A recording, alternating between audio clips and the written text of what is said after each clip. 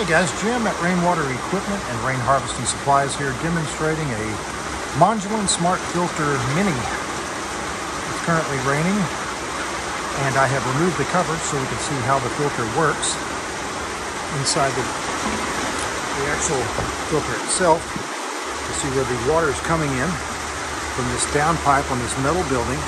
We've used a rubber connection boot here with clamps to the pipe. and The clean water is going into the pipe on the right, while the discarded water goes out the left. There's a pulley with some cabling here that's hooked to this metal ring hose. And the water that is discarded in goes out this four inch pipe.